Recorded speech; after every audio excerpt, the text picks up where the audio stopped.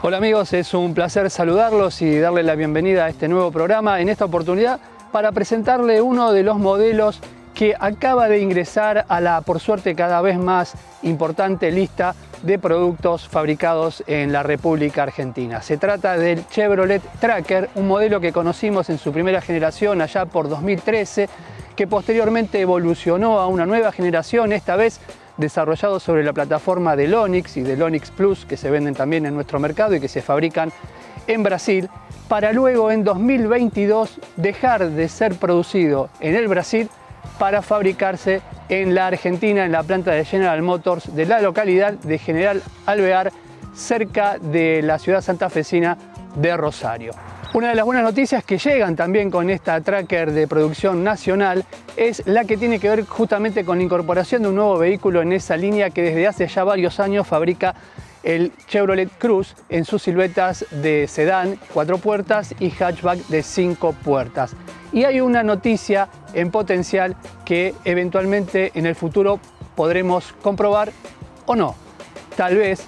la incorporación de este vehículo en la línea de montaje de la planta de General Motors de Santa Fe represente el inicio o la posibilidad de la incorporación de un tercer vehículo en esta línea más eh, adelante, que todavía por supuesto no está confirmado, pero de eso vamos a hablar sobre el final de esta nota. El Tracker es un modelo que ya conocíamos desde 2013 en nuestro mercado y que también se vendía en otros mercados del mundo con diferentes denominaciones. Por ejemplo, era un producto que también fabricaba Opel, que en el mercado europeo era conocido como Opel Mocha con doble K. También se vendía en Australia bajo la marca Holden como Holden Tracks y también en los Estados Unidos con el nombre de Wick Encore. Esto define que el tracker de primera generación era un modelo de corte global, cosa que no sucede con este, el que se está vendiendo a partir de 2020, la segunda generación, porque es un producto pensado para los mercados emergentes, ya que está desarrollado, como dijimos recién, sobre la plataforma de Onix y Onix Plus. Esta nueva generación del Chevrolet Tracker también se fabrica en China, pero no tiene nada que ver con un modelo de venta global. Se fabrica en China, pero se vende exclusivamente para el mercado del coloso asiático y para otros mercados de países limítrofes de aquel país asiático.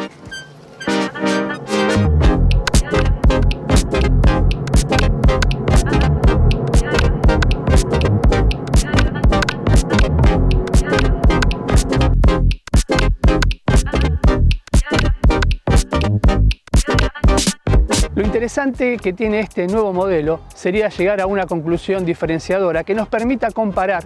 a la versión que venía desde Brasil con esta que se fabrica en la República Argentina. Para hacer eso, por supuesto, tendríamos que hacer algún test muy pronunciado, por lo menos de unos 15.000 kilómetros, digamos, una aproximadamente la duración de un año, ¿no? un test largo que nos permita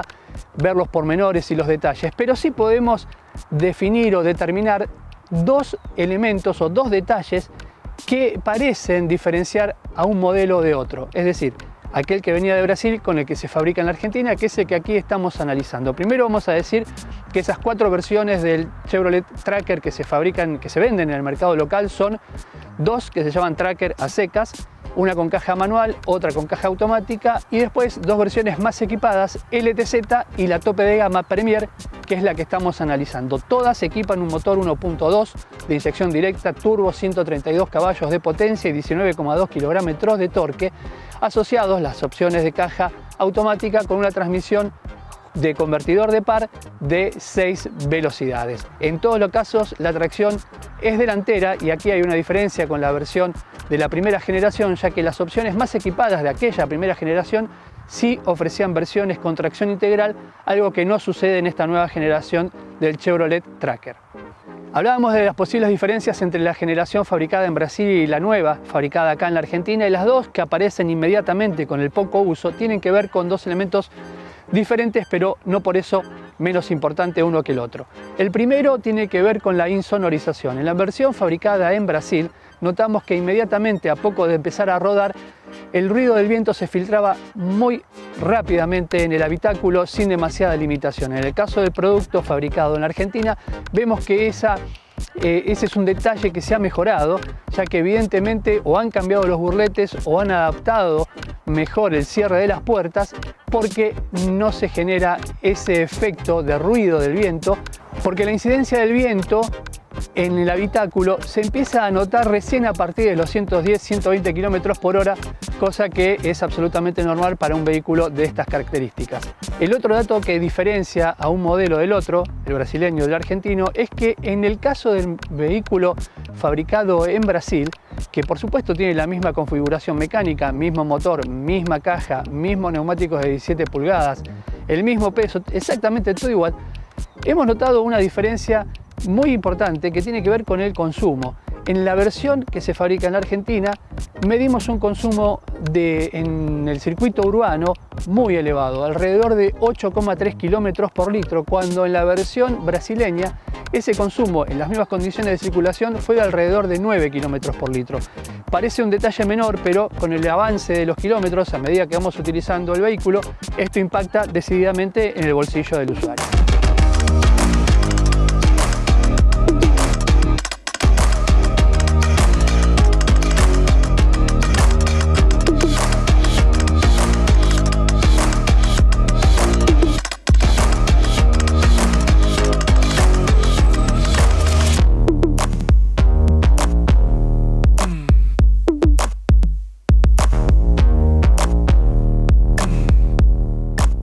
Una novedad que estrena este programa de Dossier Motor tiene que ver con la tecnología 360 que aplicamos a las imágenes. Les propongo que miren con mucha atención este video porque se van a sorprender con las imágenes que este programa Dossier Motor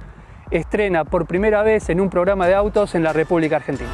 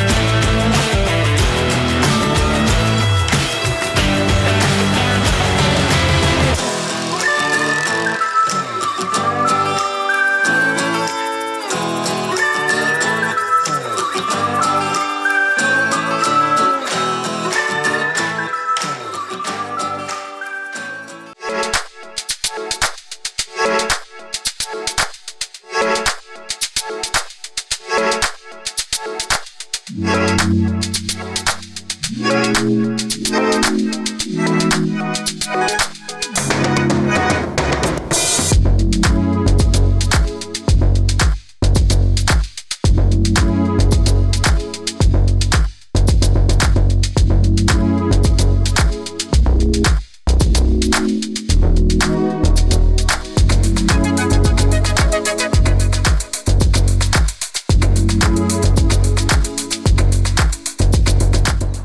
cambios importantes que, tienen, que diferencian una generación de la otra, es decir, la primera, aquella de 2013 con esta de 2020 y especialmente a partir de ahora de la producción local del Chevrolet Tracker, tiene que ver con el motor. Recordemos que aquella primera generación utilizaba un propulsor 1.8 de 140 caballos, que era eh, realmente un motor de generación anterior, un motor antiguo, por decir de esta manera. La nueva generación de Tracker equipa un propulsor 1.2 turbo con inyección directa que genera 132 caballos a 5.200 vueltas y un par motor máximo de 19,2 kilogramos a 2.000 RPM. Esto representa que ese par motor, que si bien es relativamente bajo, aparece a un bajo régimen,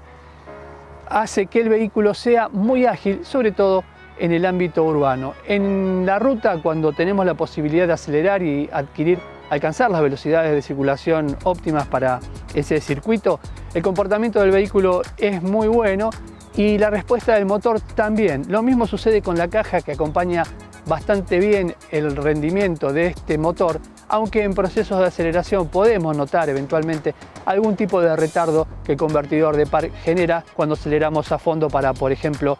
generar algún sobrepaso en la ruta. De todas maneras, esto no atenta contra el consumo cuando circulamos a velocidad constante en la ruta, ya que por ejemplo a 90 km por hora el consumo fue excelente, alrededor de 16,4 km por litro de promedio, de manera tal de que en el global tenemos un vehículo, el Chevrolet Tracker 1.2 con caja automática, que ofrece un rendimiento promedio de combustible de alrededor de 12,5 kilómetros por litro. No es el mejor por supuesto, pero tampoco es el peor de la categoría. La respuesta del motor va acompañada también de una serie de componentes mecánicos que transforman a este Chevrolet Tracker 1.2 con caja automática en un vehículo realmente muy confortable. En el ámbito urbano, las suspensiones demuestran que están muy mullidas y también se complementan con la dirección de asistencia eléctrica que siempre en todo momento se muestra muy liviana y permite por supuesto realizar maniobras en espacios reducidos con total comodidad. También responden muy bien los frenos a pesar de que esta nueva generación de tracker pierde los discos en las ruedas traseras como si tenía la primera generación de tracker aquella de 2013 que recordábamos al principio de esta nota. Sin embargo, en la pista ha frenado muy bien. Para detenerse desde 100 km por hora hasta cero, para detenerse por completo, recorrió apenas 60 metros, algo que diferencia bastante del modelo anterior, ya que aquel frenaba desde la misma velocidad en casi 8 metros más. Sin embargo, hay que tener en cuenta que este nuevo tracker, en esas pruebas de frenado, sobre todo cuando pisamos a fondo repentinamente el pedal del freno, tiende a salirse un poco de la línea recta porque muchas veces ese impulso que genera el sistema de frenado aplicado tan repentinamente genera que el eje trasero quiera seguir en movimiento y muchas veces tiende a perder la recta.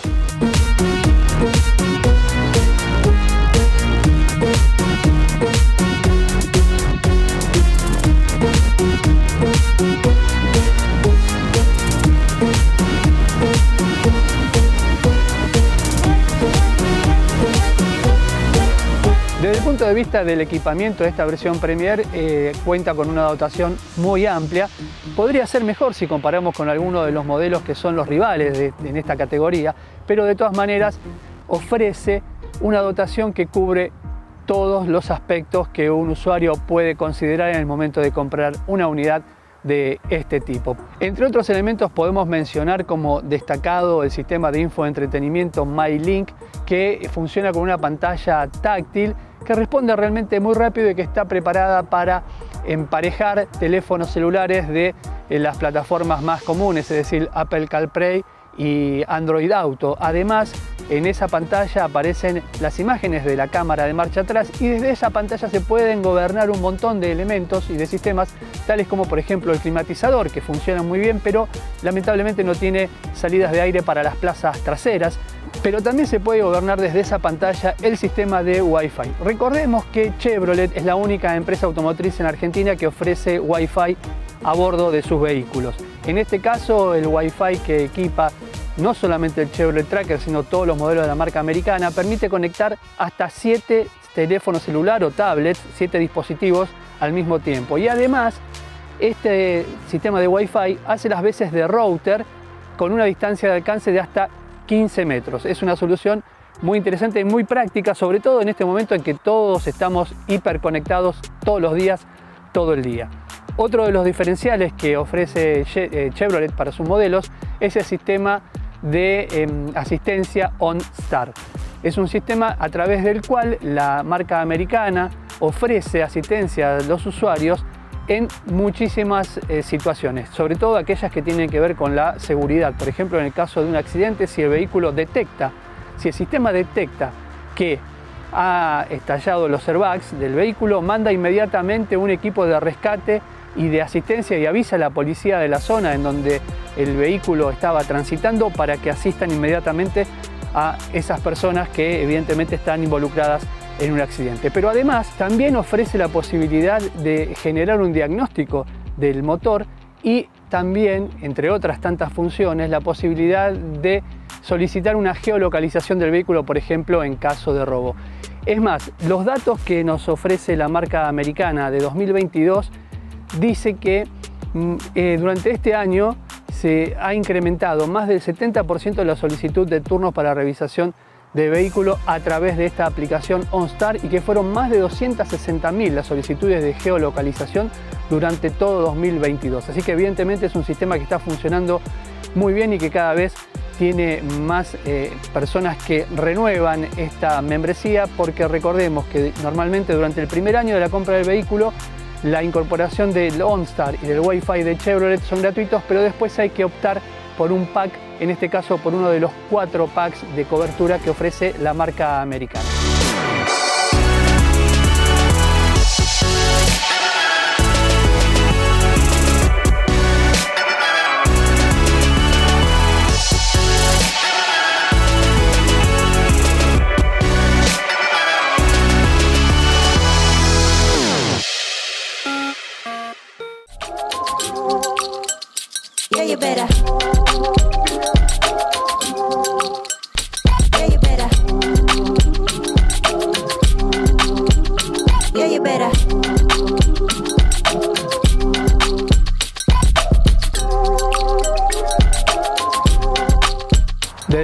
Del equipamiento de seguridad, el Chevrolet Tracker cuenta, por ejemplo, con 6 airbags, anclajes ISOFIX, luz antiniebla solamente en la parte posterior, los faros son tipo full LED, regulables en altura y también tiene luces DRL de circulación diurna. Por supuesto cuenta con control de tracción y estabilidad y algunos otros dispositivos que eh, nos ayudan a tener un viaje más seguro. Por ejemplo, tiene una alerta de colisión inminente y el freno automático de emergencia. Lamentablemente no dispone de hadas como algunos de sus competidores, estos sistemas de asistencia a la conducción que cada vez se imponen más en los vehículos tope de gama, incluso de segmentos inferiores al cual estamos analizando en esta oportunidad. El punto criticable no solo en este modelo, sino en todos aquellos que equipan este sistema es la rueda de repuesto. Es del tipo temporal y recordemos que este tipo de soluciones, rueda de auxilio que se puede usar momentáneamente, es un problema, sobre todo en un país en el cual hay distancias tan largas por recorrer y que eventualmente nos puede pasar que se nos rompe la rueda, que tenemos un pinchazo y recorrer muchos kilómetros con una rueda de este tipo puede representar un problema no solo de estabilidad sino mecánico porque puede generar algún desperfecto en alguno de los componentes que impulsan al vehículo. El Chevrolet Tracker Premier también ofrece en el listado de equipamiento de seguridad sensor de ángulo ciego.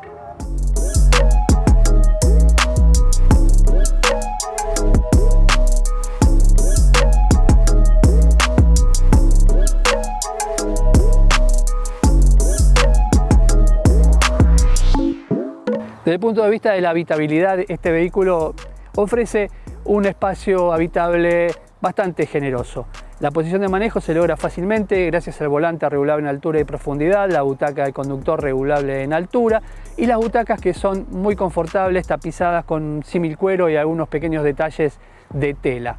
En el sector posterior la habitabilidad también es generosa pero para dos adultos porque la plaza central de ese sector posterior es pequeña y el respaldo es duro ya que en él aparece un apoyabrazos plegable que además incorpora un posavasos doble. Los respaldos traseros se abaten en proporción 60-40 para ampliar un baúl que si bien es generoso no es de los más amplios de la categoría. 393 litros es la capacidad que ofrece este baúl pero la buena noticia es que dispone de un sistema mediante el cual se puede modificar la altura del piso de ese baúl, ofreciendo gran versatilidad para permitirnos alojar elementos de diferentes dimensiones en ese espacio de carga. Como decíamos al principio de esta nota, la gama Chevrolet Tracker está conformada por cuatro versiones. La más económica, la de entrada de gama, que se llama Tracker a secas y que tiene caja manual, vale en este momento, en el momento que estamos grabando esta nota, según el precio oficial suministrado por la compañía americana, tenía un valor de 6.130.000 pesos. Y la tope de gama, que es la que estamos probando en esta oportunidad, llamada Premier con caja automática, valía 8.000.000 330 mil pesos. Valores que por supuesto conseguiremos o no según la suerte que tengamos cada vez que vayamos a preguntar en un concesionario oficial. La garantía para todos los modelos de la marca americana es de 3 años o 150 mil kilómetros. Pero antes de cerrar esta nota, el Chevrolet Tracker es el primer SUV compacto y el único SUV compacto que se fabrica en la República Argentina en la misma planta, como dijimos antes, donde Chevrolet fabrica también el cruce en sus siluetas sedán de cuatro puertas y hatchback de cinco puertas. La noticia que tenemos entre manos es que probablemente también se incorpore en esa línea en un futuro inmediato la Chevrolet Montana, la nueva pickup compacta de la marca americana que también utiliza la plataforma que hoy le da vida a la Chevrolet Tracker.